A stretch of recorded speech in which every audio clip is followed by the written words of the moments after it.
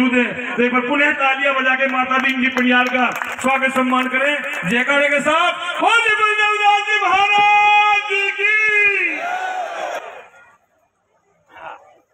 बहुत बहुत धन्यवाद नड्डा साहब। आज पधारे हुए दाऊ धाम के ऊपर हमारे मैं भी महाराज बलदेव दास जी का आशीर्वाद लेने के लिए और सभी मंच पे बैठे साधु संत एवं राजनीतिक जो हमारे विधायक और मेरी प्यारी प्यारी जनता, मेरे बुज़ुर्ग नौजवान साथी और मेरी माता बहनें, सबका यहाँ पधारे इस मंदिर पे, सबका हार्दिक स्वागत, अभिनंदन करता हूँ। तहे दिल से आभार व्यक्त करता हूँ।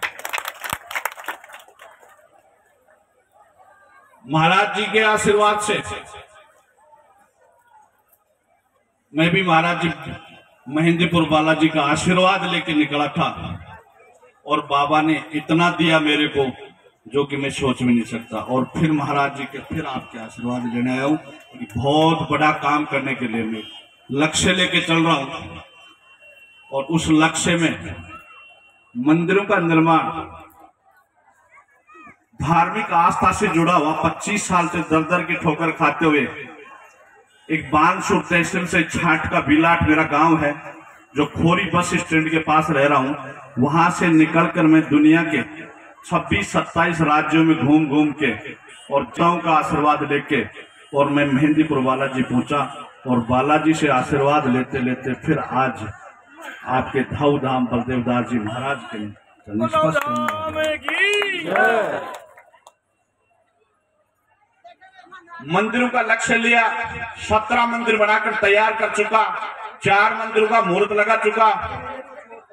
और महाराज जी, बलदेव दास जी के शरण में आया हूँ।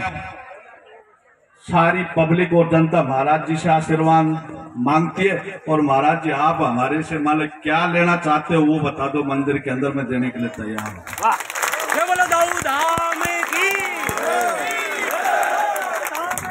जय बोलो कर्ण का दाने की आज तक मैंने कहीं भी मतलब मेरे मुँह से घोषणा नहीं की। या तो ये पब्लिक बता दे, ये महाराज जी बता दे, साधु संत बैठे, सारे राजनीतिक बैठे, सारे जो भी मेरे से है, आज मेरे लिए जो दिया है भगवान ने, वो इतना दिया है कि वो आपके लिए देने के लिए दिया है, ना कि मेरे घर के लिए दिया है। मैं मैं कहीं नौकरी करता, बीस हज़ार रुपए मिलते मेरे को। बेटा नौकरी करता, बीस हज़ार रुपए मिलते।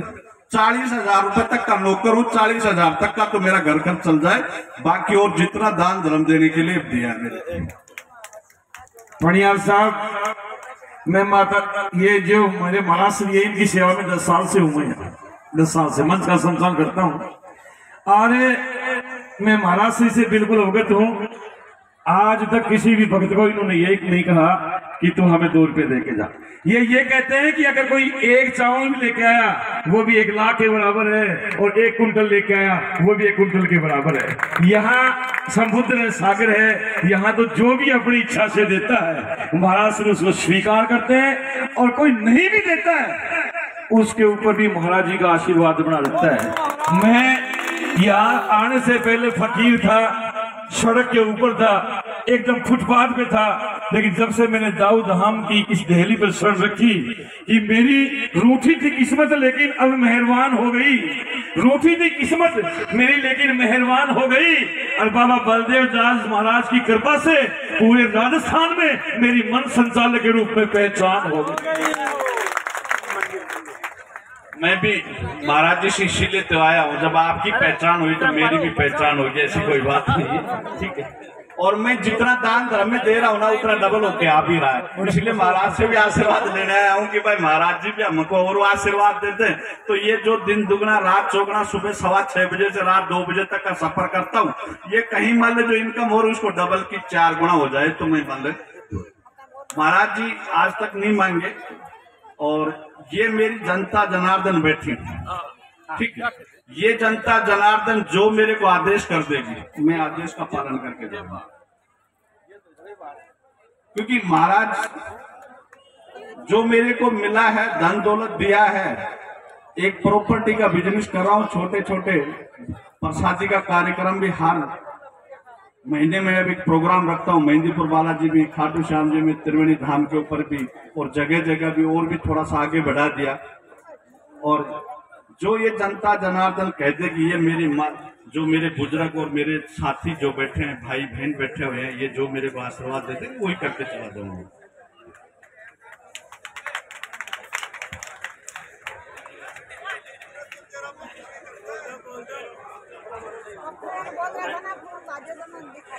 बालाजी महाराज का मंदिर है नीचे।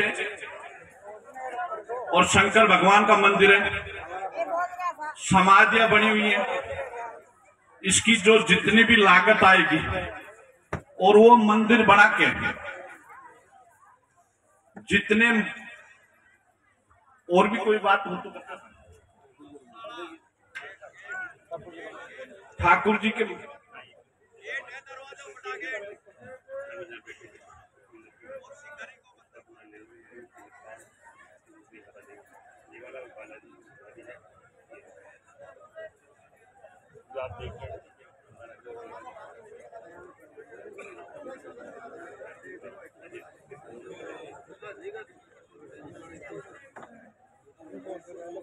इस मंदिर का निर्माण जितनी भी लागत आएगी चाहे आए पाँच करोड़ रुपया